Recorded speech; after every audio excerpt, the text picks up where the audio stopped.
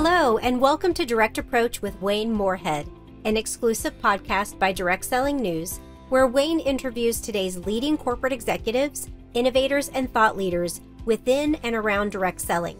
Each episode aims to provide timely insights, fresh perspectives, and relevant takeaways to help grow and evolve your businesses. In today's episode, host Wayne is joined by John T. Fleming, a true legend in the direct selling industry and author of the book Ultimate Gig Flexibility, Freedom, and Rewards. With more than 50 years of experience in the direct selling industry, John remains not only one of profession's most trusted experts, but one of its strongest advocates. With his new book, he looks at the rise of the gig economy, what independent contractors are looking for, and how that is changing what companies must do to attract and retain this new generation of workers. The insight he brings to this timely, trailblazing book provides an unprecedented look inside the growing gig economy and how it is transforming every aspect of our world and giving rise to a new kind of entrepreneur. Based on in depth research and true stories of today's gig workers, it looks at how people from all walks of life are finding new ways to work as independent contractors and how they are leveraging their passions to find success. And he shares why he believes direct selling is poised to become the ultimate gig. John is uniquely qualified to examine the role direct selling plays in the gig economy. He was publisher and editor in chief of Direct Selling News from 2006 through 2015 and held a variety of executive positions with Avon before that. John's list of accolades and accomplishments are many. He joined the Direct Selling Education Foundation Circle of Honor in 1997. He was inducted into the Direct Selling Association Hall of Fame in 2016 and was the first recipient of the Direct Selling News Lifetime Achievement Award. And just last year in 2021, was honored in the inaugural group of direct selling legends presented by DSN, recognizing individuals with 50 or more years of active service in the channel. This interview is a rare opportunity to look at the intersection of the gig economy and direct selling and to better understand the role of trust in this new economy, why women play such an important role in it, and how the drivers behind choosing a career in the gig economy have changed. I recommend you open up your notes app because this episode is loaded with insights and statistics you'll definitely want to be able to jot down. One of the many contributors to the rise of the gig economy is technology. And on that note, we want to invite you to join us for the very first live broadcast Tech Summit event for direct selling CIOs, CTOs, and teams that happens next Tuesday, February 22nd from 11 a.m. to 6 p.m. Eastern Time. We are so excited to welcome several notable industry leaders and subject matter experts to the conversation, including executives from Red Aspen, Pure Romance, Inclara Group, which supports IT security for Amazon and AT&T, former Amway, Squire, Exigo, Now Technologies, and more, all sharing their experiences and learnings on everything from how to build customer trust through proper data security and privacy, when to buy and when to build, managing your technology portfolio and staffing for the different seasons of your company's life, cutting edge tech on a budget, all things ERP, and more. The event is free to all active corporate direct selling executives. Join us and save your spot today. Register at directsellingnews.com forward slash tech summit. And we'd like to thank our presenting sponsor, Exigo, for helping make this event 100% free of charge for active executives. In an industry that demands adaptability, Exigo delivers unrivaled access to the data that drives your business, from CRM to transactions to commissions. Flexible, scalable, and powerful, with Exigo, the possibilities are unlimited. Learn more at exigo.com. That is E X I G O.com. And now, please help me welcome your host, Wayne Moorehead, and today's guest, John T. Fleming direct selling legend and author of The Ultimate Gig Flexibility, Freedom, and Rewards. Hey, everyone, and welcome to another episode of DSN's Direct Approach podcast. I'm your host, Wayne Moorehead, and I am honored today to be joined by an absolute legend. He is in the Direct Selling Association Hall of Fame. He's received Direct Selling News's uh, Lifetime Achiever Award. He's in the Circle of Honor from Direct Selling Education Foundation. He was also on the board of the Direct Selling Education Foundation. He was the publisher and editor in chief of Direct Selling News for many years and helped really make that become the source for information within the direct selling channel. He's also been an exec at one of the largest direct selling companies in the world and so much more. John, welcome to Direct Approach and thank you so much for being here.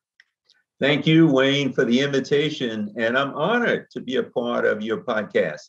I have been listening and you've had so many great guests. So for you to invite me to be a part of this and the DSN brand, I'm just delighted. So uh, happy to be here today. Oh, I appreciate that and really appreciate your time. John, you've had such a huge impact uh, on direct selling, really at every level, at the channel level, with all of your work at Direct Selling News and uh, the DSA, at the company level, um, not only inside as an exec, but also as a board member, as an advisor to so many companies in the channel. And even at the individual level, you, you've gotten to know and help so many people over the years, including myself. And I just want to thank you for being such an incredible mentor and example to me over the years. I've been so impressed and touched with how free you are in giving with your time, um, with your advice, with your counsel. Anytime I was in Dallas, I knew I could swing by the the DSN office and knock on your door and and would always get welcomed in. So thank you so much for again for all you've done for direct selling and for me as well personally. It's a pleasure. Well, for the past few years, John, you've been doing some really interesting work. You've been researching and writing um, what I feel is one of the most comprehensive and definitive works on the gig economy. And we're going to spend today kind of digging into that, some of the, the really interesting implications and ideas for direct selling. But before we jump into the main topic um, and your book, can you just take a few minutes and share with us the path that led you into direct selling? Because it's it's a really interesting story uh, I'd love to learn more. Yeah, that's an interesting question, Wayne. And it takes me back about four years when I started what I called the Ultimate Gig Project. And at that time, I knew that I needed to pay attention to what was going on in terms of the growth of the gig economy. Now, I'm a passionate advocate of the direct selling channel, and I think you know that. And I spent most of my life uh, as a direct seller and as an executive within a company, and then the great years as publisher, editor in chief of Direct Selling News. So when I stepped away from Direct Selling News to kind of rethink my focus, what do I do next? I really started to pay attention to the gig economy because I was so impressed with the fact that people from all walks of life were being attracted. Gigs were showing up in different forms. And when I looked at the stats and facts related to our channel, the direct selling channel, the facts are that beginning in 2015, the channel started to shrink overall, domestically and globally, in terms of revenue. And if you look at the DSA record there and the reports that they put out each year, that be- became uh, important for me to understand. And more important, I thought it was the opportunity to understand better what was happening in the gig economy. And that's when I said, okay, I know what my next step is. I need to read, study, do some research, and better understand this new phenomenon that is capturing the attention in mature markets all over the world. And so that led me to the beginning of the research. And Wayne I had probably read and studied more in the past four years than any other single period in my life, including the formal educational years. And so what I found was we have something that is growing in many different forms as a result of technology and as a result of many business channels looking to reduce complexity and emerge with simplified business models that use people as the intermediaries to connect consumers with products and services. Now, that sounds like direct selling, but it is what's behind the gig economy.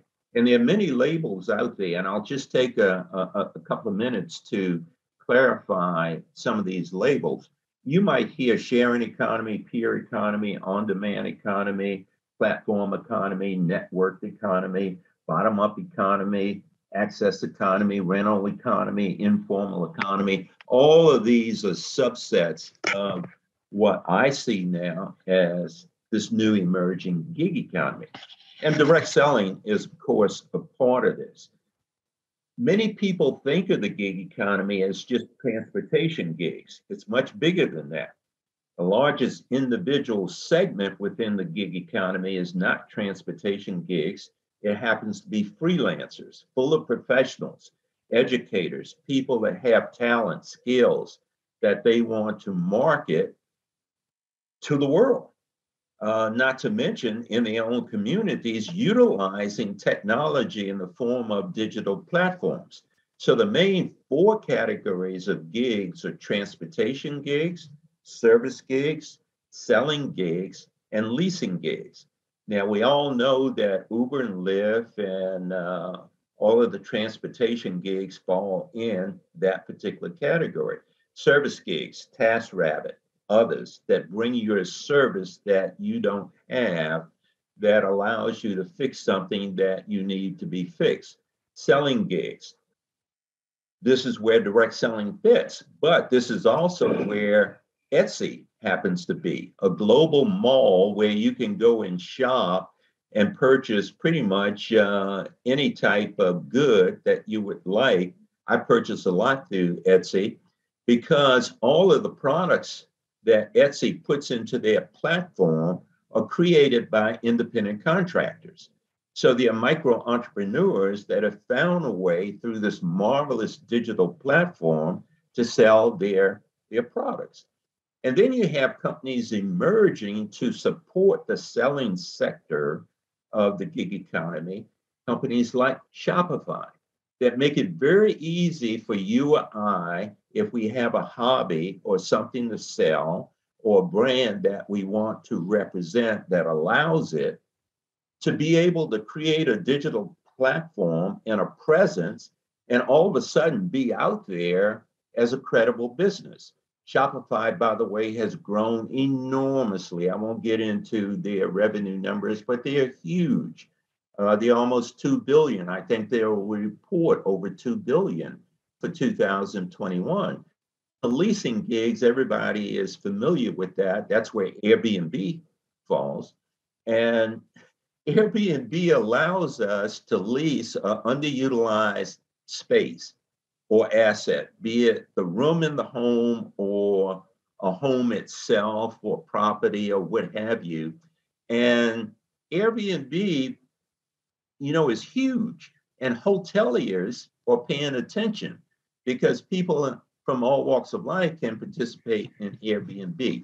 So that's a little description of the gig economy. And I can give you uh, a few more stats and facts as we go along, but hopefully that defines it for you. Yeah, that's really helpful. Um, this kind of gig economy, you know, that terminology, that idea has been a huge part of the zeitgeist over the last, you know, several years. And it really represents one of the biggest shifts, I think, over the past several decades, because it's not only impacting how we work, you know, all of the different categories that you just mentioned, but also how we live, where we live, and so much more. What what do you feel are, are some of those key drivers behind the rise of the gig economy? Why it's really coming to fruition today? You know, not ten years from now or ten years ago. What are what are some of these key drivers that have really brought it to the forefront? Well, I think there are quite a few, quite frankly. Uh, and just to put put size uh, into this conversation, the gig economy is approaching 60 million Americans involved. Uh, that's about nine times the size uh, what we report for the direct selling network marketing mm-hmm. industry.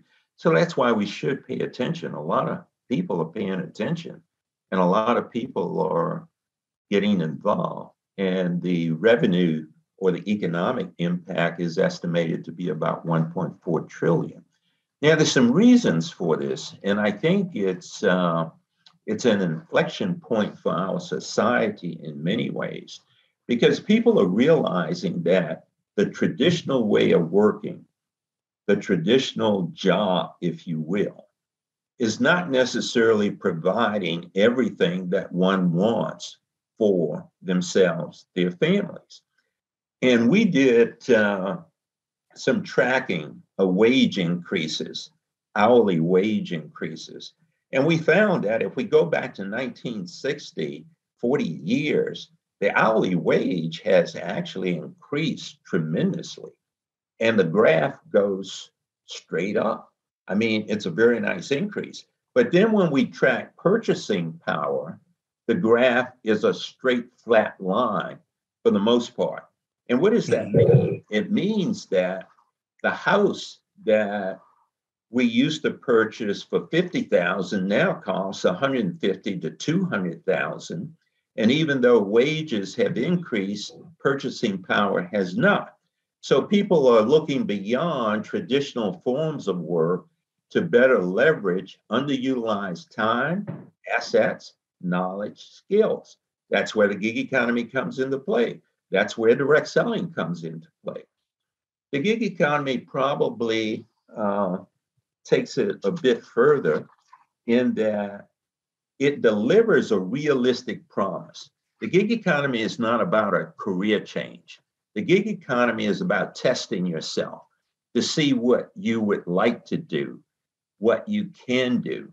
It doesn't take a whole lot of knowledge and skill to become a part of the transportation sector.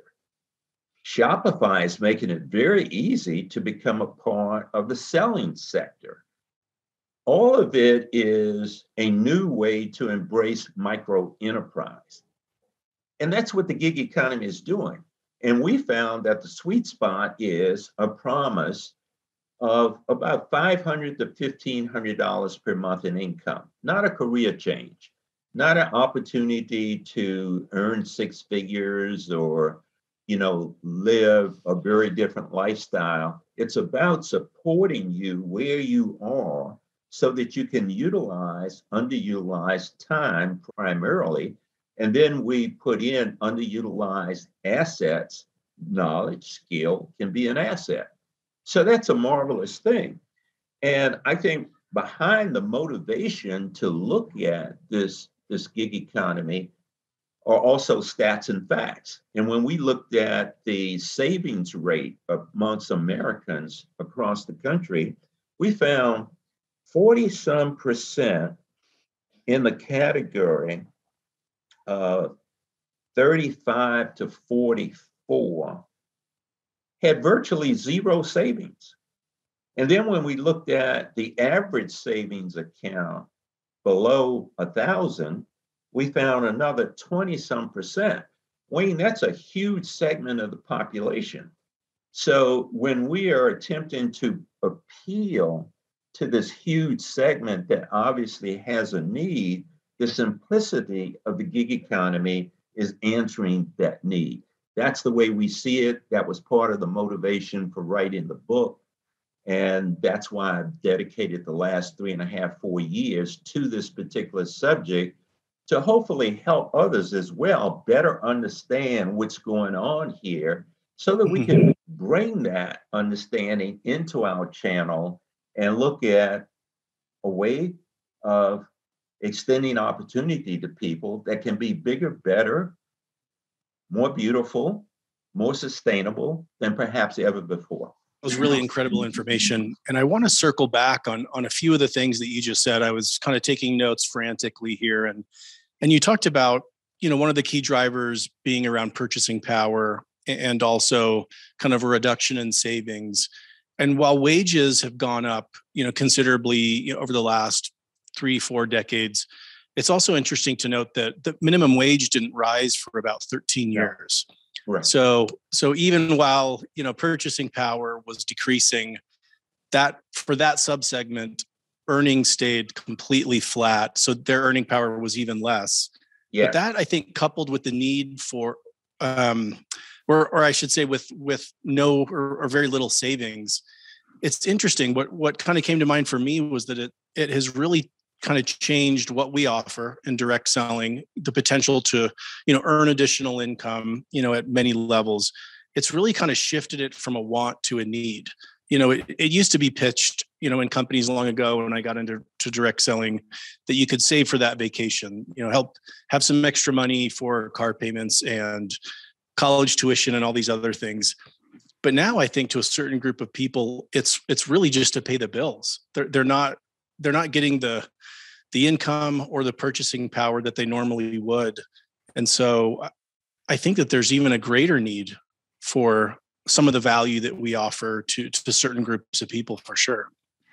Yeah and we conducted our own research uh, in the writing of the book and i was uh, fortunate to uh, have in my circle of friends dr robert a. Peterson over, over at the university of texas who led this research and so we wanted to dig deeper into motivations. And what we found was exactly what you just said. The great majority of the people working gigs want to pay the bills. And it ties back to a basic fact of life. No matter what we earn, if we spend more than what we earn, we have a problem. And so we can be earning six figures or we can be earning five figures.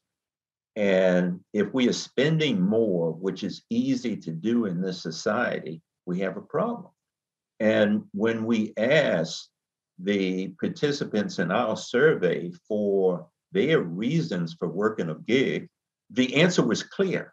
It was to pay the bills, but also in conjunction with that was to save more and invest more. So those two things go hand in hand because people have a tendency to want to feel secure. So wanting to save and invest more never leaves the equation. So it is to pay the bills, but we don't have a lot of motivation just to work to pay a bill. The motivation kicks in when we can pay the bills to free up more money to save and invest more. So those two things go hand in hand. And you're exactly right. That's the big motivation that's attracting a lot of people to the gig economy in particular. Oh, that's interesting. So you also mentioned that a lot of these companies that are participating in, in the gig economy make a very realistic promise. And in your research, for me, one of the most incredible statistics was that 97% of people that are participating in the gig economy said that they were satisfied, which to me is an incredible. Like if you were to look at that as an NPS score um, at a consumer products company, I mean that would be absolutely off the charts. But that that research that you did, bringing that 97% satisfied, to me also boils down to. I mean, you said realistic promise, but it also means that expectations are being met. That there is this balance between kind of the price value equation. And i think as it relates to direct selling there's a there's a great lesson for all of us to learn. We all know that historically you know one of the criticisms of direct selling has been that a lot of the focus from the marketing and the messaging uh, really centers on the earnings potential at the higher ranks. And so if that's the focus for a company then there is a pretty significant chance that expectations of people entering aren't going to be met. But as you talked about this the sweet spot of being you know 500 to 1500 dollars per month that's that's super realistic. That is definitely a promise that i think all of our companies can deliver on. And i think it's also a, i mean it's been a conversation internally at all of our companies. We've all had this conversation of how do we help get the message out that earning an extra 500 1000 you know as you mentioned even $1500 a month is significant. I mean, it, it is life changing for so many of us to have that additional amount of income. How do we help focus back down on maybe some of the earning potential at the lower ranks so that we're really meeting the expectation? It doesn't mean that that potential is not there, but it seems like the center of gravity or the pendulum always ends up swinging, whether it's from the corporate side or the field side, back to the earning potential at the higher ranks how do we help to make sure that we're leaving more people satisfied And I think part of it is focusing on that sweet spot. What are your thoughts around that? Well, my thoughts are many. And behind what you just said, there are many things to focus on. And when we did the survey, uh, one of the questions was, what did you expect to earn? And so there are a lot of people 100 to 200, two to three, four to five. And we picked five as being the beginning of a sweet spot simply because it's aspirational and it's so measurable. I mean, when you mm. bring in an incremental five, you you know something is happening. And achievable. I mean, realistically, yeah, that's achievable. Yeah. It, it's achievable and it's worth my time to go and try. Here are a couple of things I want to mention about that. We ask questions, what did you expect to earn? And then we ask questions, what did you earn? And the match was almost identical.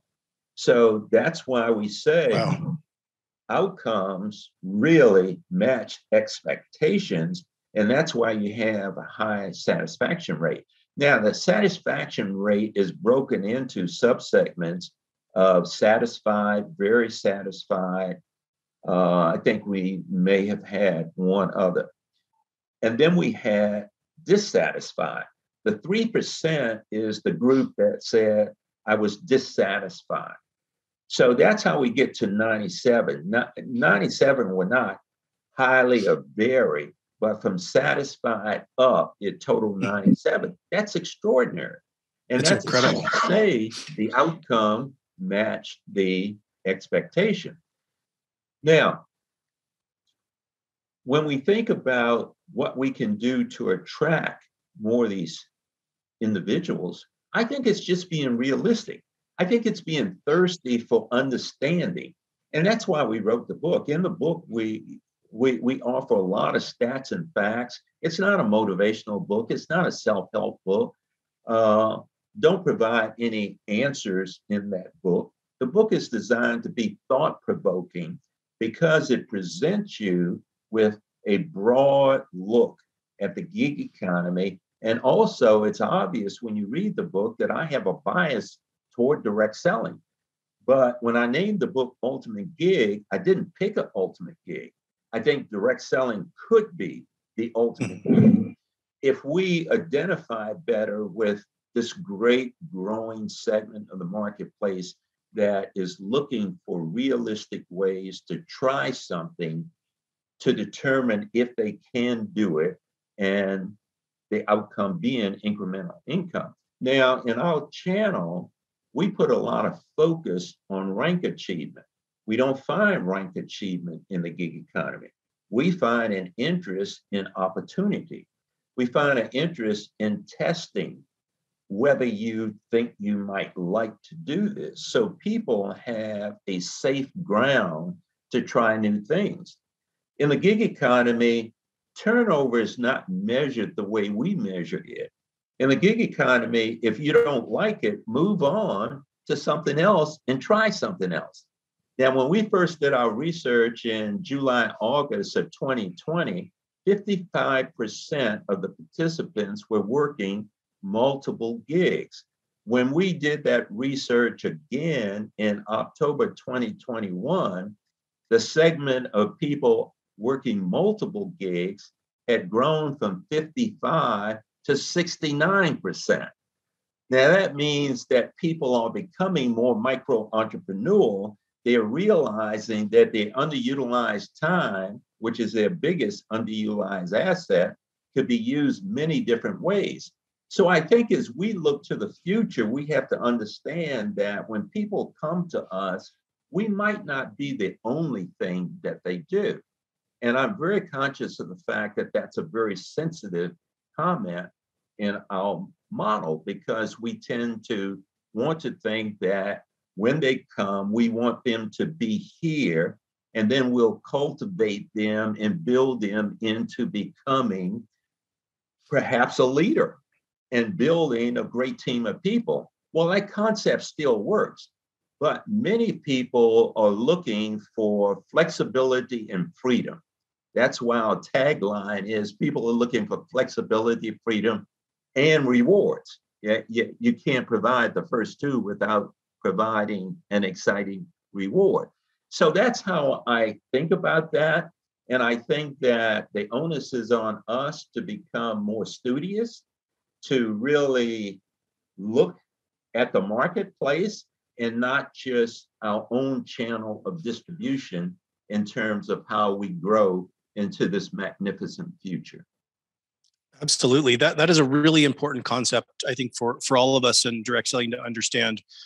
You're right. There used to be an expectation, even if implied, that once a distributor reached certain ranks, that they would be all in, that they would focus on this opportunity 100% and even potentially leave their job once they reach kind of you know they were they were able to replace the full-time income of a job but i think we do need to understand as your research shows that 70% of these people are going to be doing something else as well whether it's a full-time job one to few to maybe even several other quote unquote gigs um, within this new working framework and so we can't expect them to dedicate 100% of their time to us. So I, I think from um, how we talk to them, how we engage with them, um, even contracts that we develop as companies at the higher ranks, we need to understand that they're going to have other opportunities and they're, they're going to be engaged in, in other forms of the gig economy.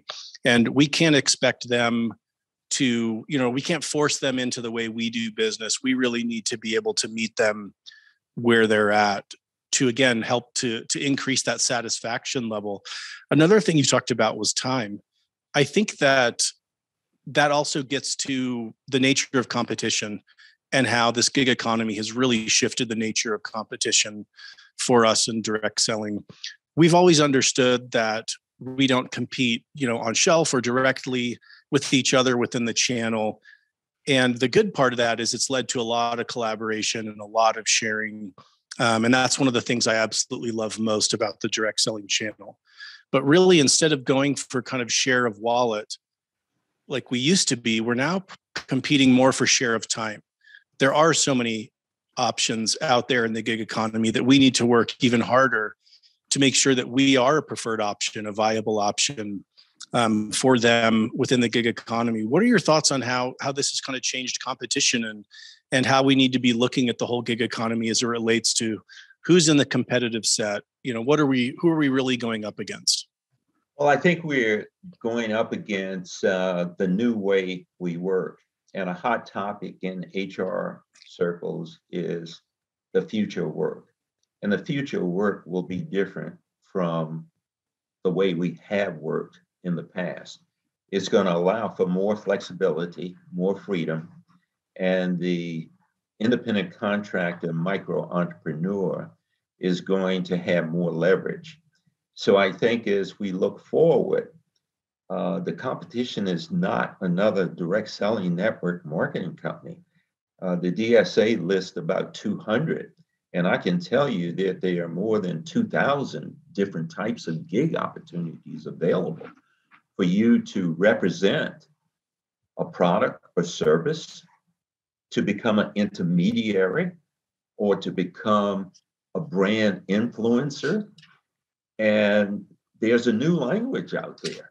It's it's not the language of the direct selling network marketing uh, model. And I think the future is going to uh, be more about being relevant and we have to be relevant in the bigger sphere of things, not just focused on who else is doing this or who else has the shiny new this or that. And a lot of great work is being done, Wayne, by a lot of our companies. And I won't get into, uh, you know, mentioning brands specifically, but that keeps me excited and when I look at some of the transformation that has become obvious, I mean, you see it. That's what the future is all about. It's becoming relevant. And here's the one thing that we can do that Amazon cannot do.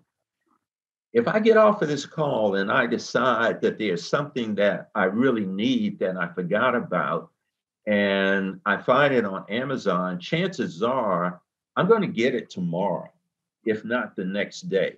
So Amazon has an excellent service where we can access the products that we need. The difference with what we do and the way we do it is that we add personality, we add personalization, we add emotion, we add passion. We let people know our story and why we use these products, why we engage this opportunity. And when we bring that into play, that's something that Amazon cannot do. And that's the future for us. Now, what will the label be five years from now? I'm not quite sure. And I don't think I'm concerned.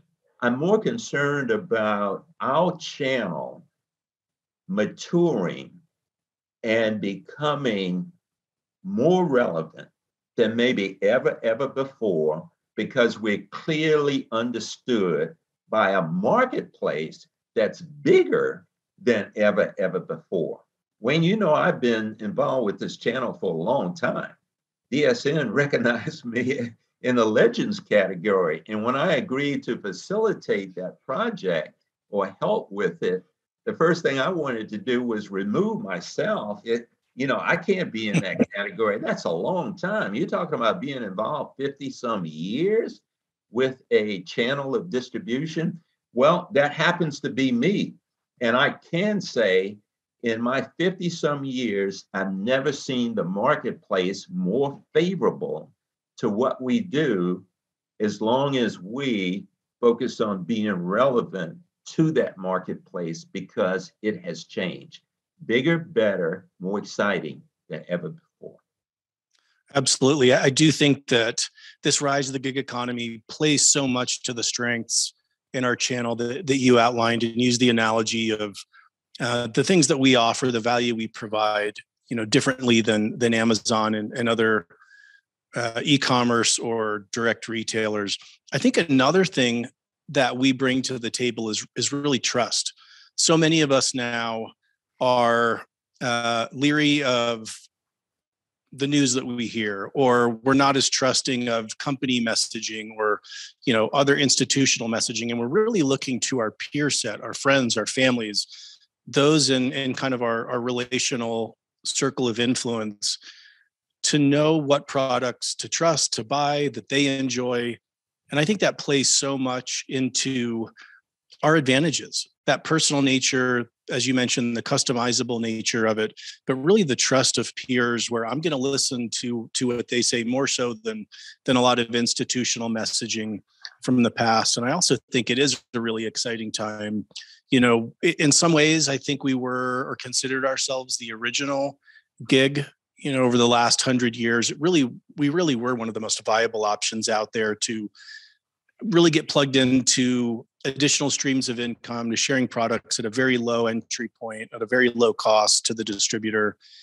And i think all these people coming into the gig economy really help to to normalize um, to make common in a good way in a very positive way the selling, the sharing, all of these gig opportunities, I think it does nothing but but really play in our favor.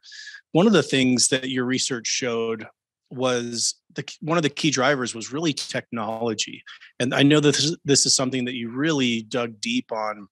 It's one of the foundational elements of the gig economy. Can you talk a little bit about this? the role that technology plays. You talk about how kind of work from home has shifted to work from phone. I'd love for you to elaborate a little bit on kind of the technology driver and needs in this new economy. Wayne, thanks for that. And, and, I'd like to go back to trust, and then I'm going to move quickly to yeah, please. Uh, technology uh, from this perspective. Trust is something that we've always capitalized on. Now, when it is evident, it's wonderful. You can't replace it we have to also look back at the stories we tell and the opportunities we present to make sure that our trust resonates and we do not overpromise in anything that we do. That's very important. In chapter one of the book, I talk about the fact that trust is one of the key components of the gig economy And it comes into play in almost everything about the gig economy.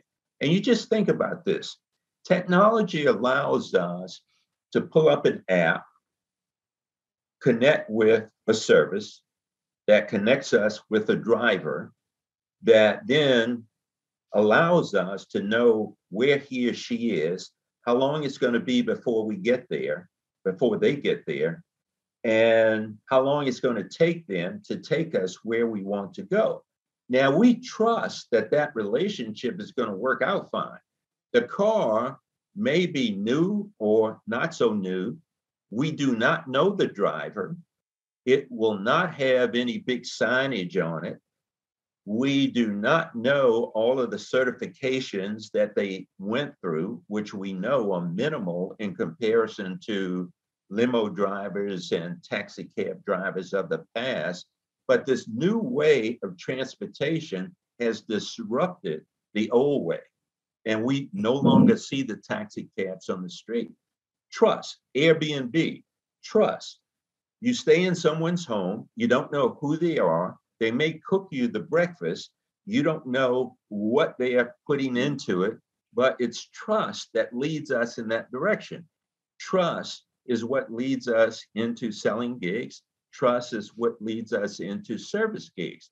The TaskRabbit comes, says that he knows how to fix the plumbing. You trust that they can be able to do that. So, trust is something worth exploring and then assessing within our own organizations to make sure that that component is what we think it is or what we intend it to be. Now, you take a look at technology, and I think it's wonderful that DSN has a technology summit coming up later this month, and it's a full day. And I looked at the lineup of some of the, the brightest, the sharpest in that area who are going to be sharing their understanding with everyone else that tunes in that day. So uh, I hope everyone has marked the calendar. I'll certainly be listening, uh, looking myself. Now, when you think about technology, uh, there are two sides to me. One, I wouldn't want to be without my smartphone. So I respect it, but I also know I don't need to know everything about technology in order to be able to use it.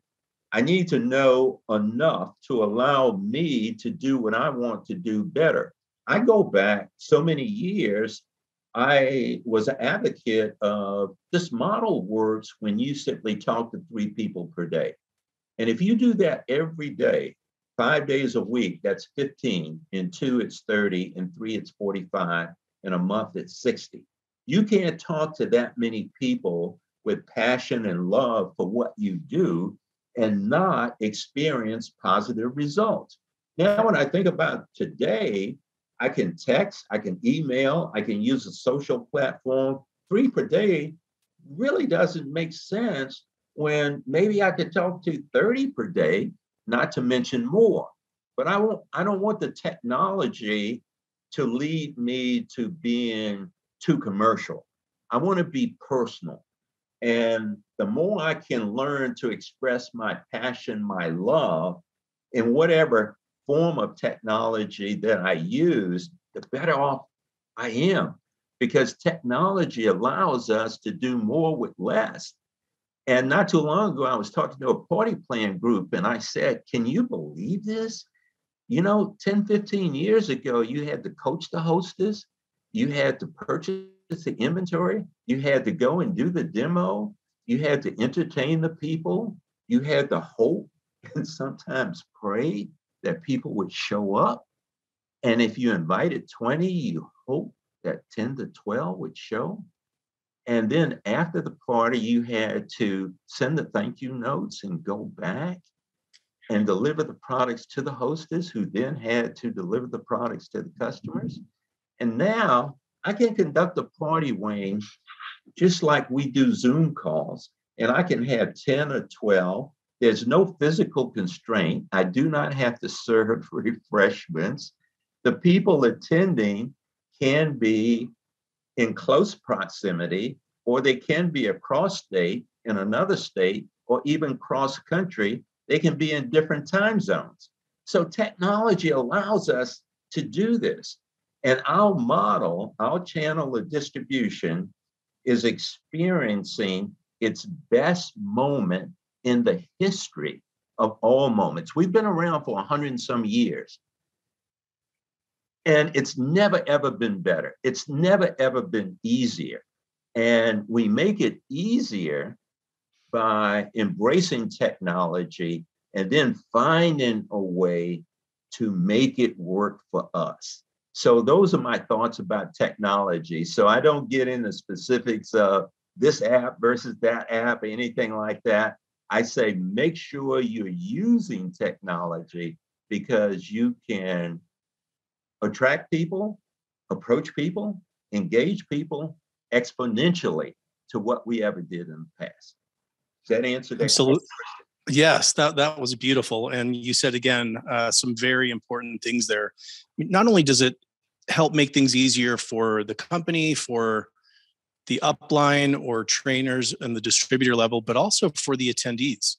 You know, it's it's a much easier ask to say to a friend or an associate, "Hey, can you jump on a Zoom, you know, for 30 minutes quick?" You're not asking them to drive across town and to take an entire night to come learn about your product. So it, it almost for me, you know, being highly introverted, it's it would be much easier for me to conduct business that way. But you're right, it it has allowed and brought such incredible scale to the channel that it, that it really is such an incredible time to be engaged and involved in direct selling. And you also said something really important that we need to be really thoughtful in how we use the technology. We can't uh, lose that personal aspect. So we need to approach it in, in, a really personal and thoughtful and meaningful way and not get kind of caught up in, in the medium, you know, where the medium kind of becomes the message. Um, I want to shift into another really interesting dynamic that your research brought out, uh, and it's actually kind of around a gender dynamic. We all know that that women have been driving the growth of direct selling, as you mentioned, for hundred years now, and your research has shown that that's also the same for the gig economy as well. Can you elaborate on this really cool dynamic? Yeah, it's a really cool dynamic. And when I first uh, got into the research about four years ago, the gig economy was one third women, two thirds men.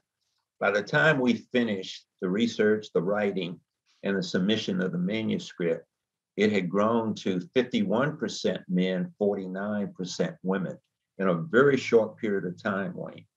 We expect that dynamic to be on uh, the same level as direct selling. Direct selling historically has been 75% women, 25% men. So we think that trend is going to keep moving toward more women participating than men. Is a very fundamental reason. Women appreciate flexibility, women appreciate freedom, women multitask very effectively. And for the men listening, I learned after having the opportunity to work primarily with women through my uh, career at Avon Products that women think differently. And I always use this expression. I, I find a way to work it in every time I'm talking to someone like you. I grew to appreciate and become grateful of the fact that there was always a little bit of room for a few good men. And I say that sincerely I think that we have to keep that in our thinking, in our strategies. And women, to me, are the future of this kind of work. And I just uh, think we need more women in leadership, period. That goes for everything in life, by the way. But Absolutely. this business, I think, will be about making sure that we are always offering that type of opportunity experience that is sought after and appreciated by the segment in our society that appreciates flexibility and freedom probably more so than anyone else. You can work in the gig economy or specifically our kind of business in between family responsibilities the care for children, the care for a parent, uh, in between doing the things that one does when they are responsible for the family unit. And it can all be done in between time when you have the opportunity and flexibility to do it. Customers also appreciate flexibility and they appreciate personalization.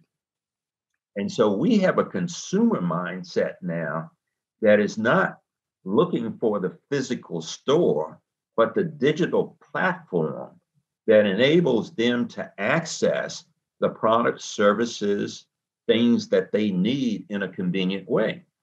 I don't jump in my car and run around the stores when I'm looking for something. I, I'm an Amazon Prime customer for a reason. It works and it delivers a service to me that I appreciate. So the digital platform is the new marketplace of the future. And when we can engage a digital platform and add personality, love, passion into that messaging that goes along with the product or service that is offered through the platform, we have an incredible future to look forward to. So, what are a few of the things, if you had a group of CEOs in front of you right now, what are a few of the things you would recommend to them to start doing to prepare to make sure that we in direct selling are a viable and preferred option as part of this gig economy? There are four things that I always mention, and uh, you're not the first person to ask me that question. So, as I said when I talked about the book, I consider myself a thought provoker, and that's what I attempt to do. And I do say that I think we have to think differently. Our past will not determine our future. So we have to think differently. We have to be broader. We have to embrace the fact that the marketplace has shifted, and so has everything else. We perhaps, and I think we do, we have to define ourselves differently. We can't define ourselves in the same terms that we've used in the past. There's a new language. And sometimes I call my friends uh, into accountability and I and I just say, listen to the way you're speaking, because the language that you're using is not the language of the future. It's not the language of the gig economy. The gig economy talks about people as intermediaries, people as influencers. Uh, we don't think about people in the gig economy as necessarily being sellers or networkers. And I'm not saying that those terms are to be explored or assessed or looked at differently, but perhaps we should look at it all a little bit differently. There are some other things that we have used as labels that I think we need to discard. So I think that we should look at how we define ourselves, and perhaps we need to define ourselves differently as we think differently. Then we have to position ourselves differently. And we talked a lot about that today. What is the positioning? What is the offer? What is the value proposition for the consumer and also for the independent contractor, micro entrepreneur, gig worker who chooses us to be a viable choice? And then lastly, I think we have to be willing to explore. And we have to be willing to test new concepts. And every decision does not have to be absolute, but I think we have to be willing to explore. How will we learn until we test ourselves and test new ways of doing things? And you and I have been around a long time, and we know that we have often attempted to motivate and inspire our people by encouraging them to shed fear. And fear is real. And fear is not only within the people, fear can be within the C suite, fear can be within the executive team. Fear to change is probably one of the biggest fears that we as business people have experienced because the way we got to the present is because of some past. The way we get to the future is not necessarily built upon everything that we gained from the past. So those are the things that I talk about, uh, Wayne. We may need to think differently. We may need to define ourselves differently. We may need to position ourselves differently. And lastly, be willing to explore new opportunities. Those are I the that. I share. That's how we get to a future that's bigger, better, far more sustainable than ever before. Absolutely, and I think that's true at the company level and, and at the channel level as well. I think those are those are four great things that we need to start putting uh, into place and implementing now. John, I'm going to start wrapping up here with your amazing perspective um, from the position you've had in the channel, um, the longevity in the channel, the historical perspective you have. Looking out five years from now, where do you see the direct selling channel five years from now? more relevant. Uh, I don't know what the label will be. Direct selling is a beautiful label. Uh, that's what we do. We interact directly when we can with consumers or we make ourselves available. We interact directly with the people that we influence, be they associates, affiliates, or other direct sellers to stay with that same terminology. So we bring a lot of personalization to the equation of how we market our brands in a marketplace. We have been using intermediaries, direct sellers for many, many years to connect our products and services with consumers. I think that we just think differently about that. And uh, in five years, I don't think it's that important what the label might be it is important that we are relevant. And I do believe that in the next five years, perhaps we are the ultimate gig. I really see that. In writing the book, I didn't want to venture and try to put a label on anyone or identify any particular thing. The topic is too broad, too rich to try to hone in on one particular thing. It's 2022 uh, by 2027, gosh, uh, the new Amazon of our type of business will be emerging. And I don't see it as being one particular brand. I see it as being many brands that give the average person, unlike most traditional gigs, the opportunity to aggregate benefits. The benefit of being able to acquire, attract, and retain a customer who perhaps loves our products the way we do so much to the extent that they buy again and again and again. How many of those customers could we have? Is it 10? Is it 12? No, I think it's 20, 25 because I'm not putting a timeline on it. I think it's 50. I think it's 100. So when we think about five years, how many customers could we have purchasing our brand through a digital platform where we don't have to touch the product because the company is making the deliveries, doing the heavy lifting, and we are receiving the benefit. That's absolutely incredible. Now, it does mean that we think differently and we help our people think differently because the Uber driver five years from now still will have to go out and drive the car. Mm-hmm. five years from now, why can't we be another Tide?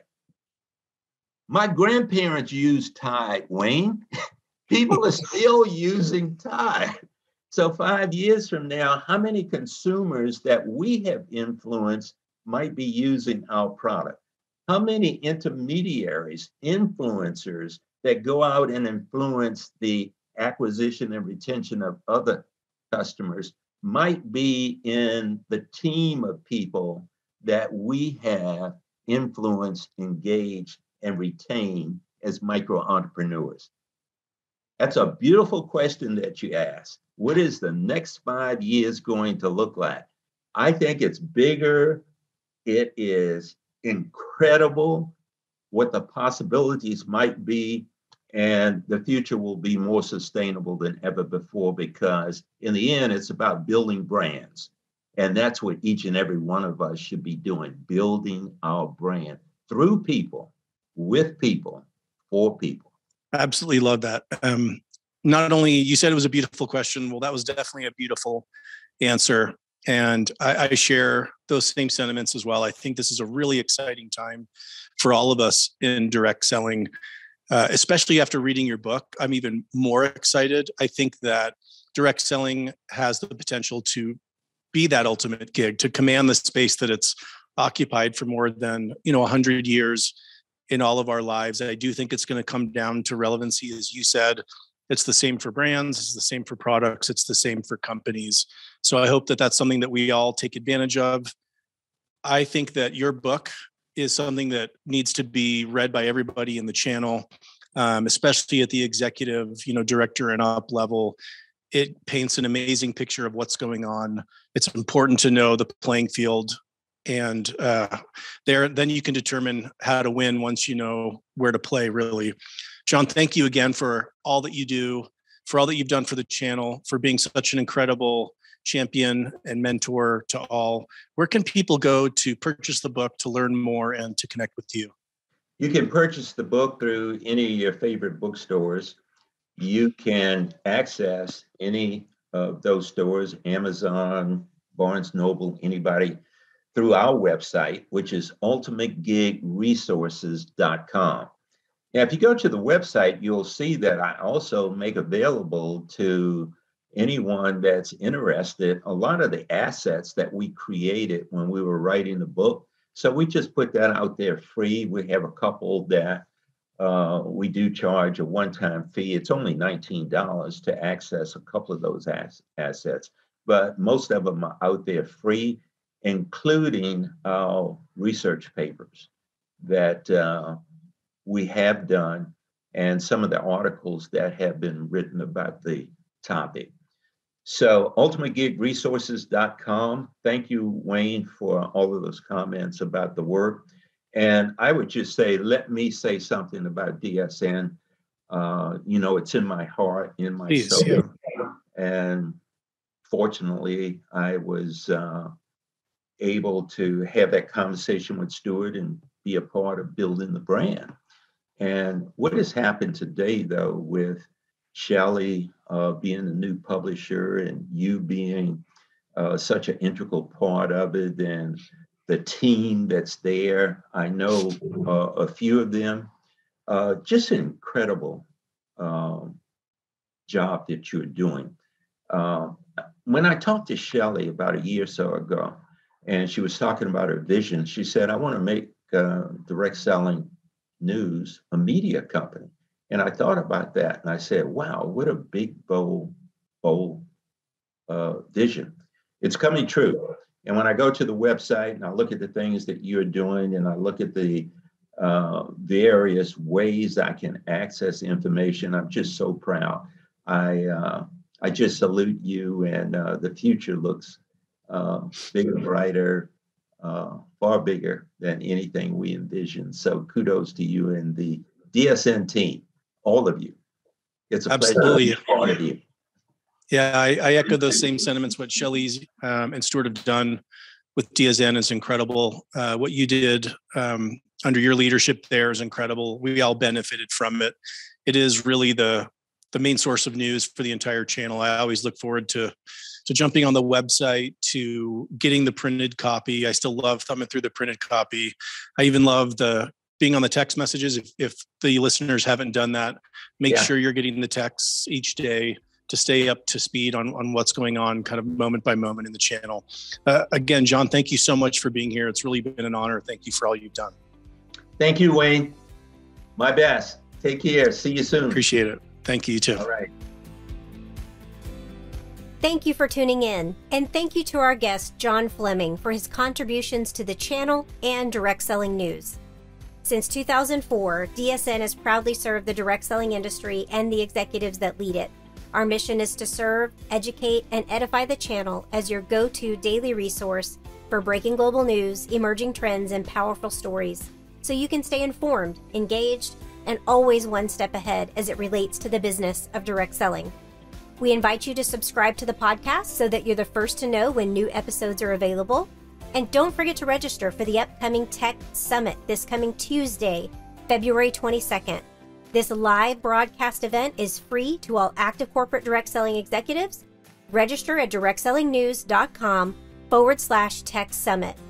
We also invite you to join the new DSN VIP community that Wayne was talking about. It's a new way for direct selling executives to keep up with what's happening in the channel in real time through the convenience of text. No matter how busy you are, how many meetings you're in, you can always get an alert on your phone as far as what's happening in the channel, any breaking news that's coming, so that you are always in the know.